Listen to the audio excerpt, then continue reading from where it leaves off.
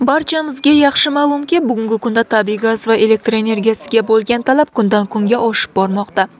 Barqaror energiya ta'minoti albatta samaradorlik va tejamkorlik masalalari bilan chambarchas bog'liq hisoblanadi. Shu ma'noda ovul va mahallalarda mas'ullar tomonidan iste'molchilarga energiyani tejash, tabiiy gaz va elektr energiyasi resurslaridan oqilona foydalanish energiya samaradorligini oshirish yuzasidan olib borilayotgan tushuntirish targ'ibot ishlari muhim ahamiyat kasb etmoqda.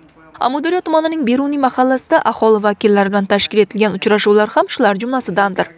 Mazkur tadbirda tuman prokuraturasi mas'ullari, favqulodda vaziyatlar bo'limi xodimlari, elektr ta'minoti korxonasi vakillari, Beruniy mahallasidagi yettilik vakillari va boshqalar ishtirok etishdi. Ta'kidlanganidek, mamlakatimizda energetika farovonligini ta'minlash uchun elektr energiyasi va tabiiy gazdan oqilona foydalanish, yoshlarni tejamkorlikka o'rgatish har bir fuqaroning muhim vazifalaridan biri bo'lishi lozim. xalqimizning iste'mol madaniyatini oshirishda energiya samaradorligi va tejamkorlik masalasiga jamoatchilik e'tiborini jalb etish har jihatdan maqsadga muvofiq sanaladi. Aks holda energiya resurslaridan oqilona foydalanmaslik oqibatida kelgusida ko'plab muammolar yuzaga kelishi mumkin. Tadbirda mutaxassislar tomonidan energotejamkor gaz isitish tizimi uskunalari, elektr energiyasi ishlab chiqaruvchi quyosh panellari va boshqa energotejamkor buyumlar taqdimot qilindi va ularning afzalliklari to'g'risida batafsil axborot berildi.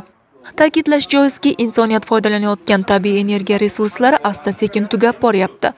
Birlamchi yoqilg'i energetika resurslarini qazib olish va qayta ishlash xarajatlari oshib, ulardan oqilona foydalanmaslik atrof muhitga salbiy ta'sir ko'rsatmoqda.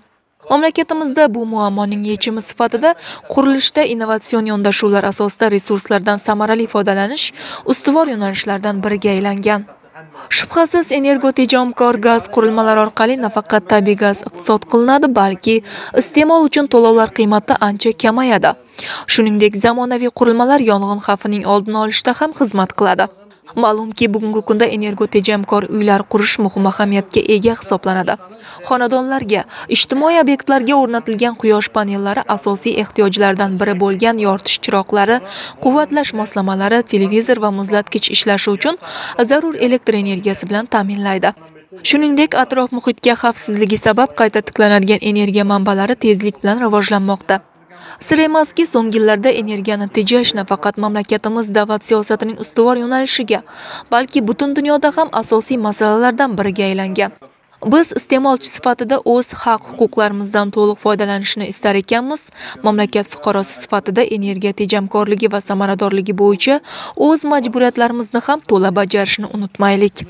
Zero bosh qomusimizning 68-moddasida ta'kidlanganidek, yer, yer osti boyliklari, suv, o'simlik va hayvonot dunyosi hamda boshqa tabiiy resurslar umummilliy boylikdir. Ulardan oqilona foydalanish zarur va ular davlat muhofazasidadir.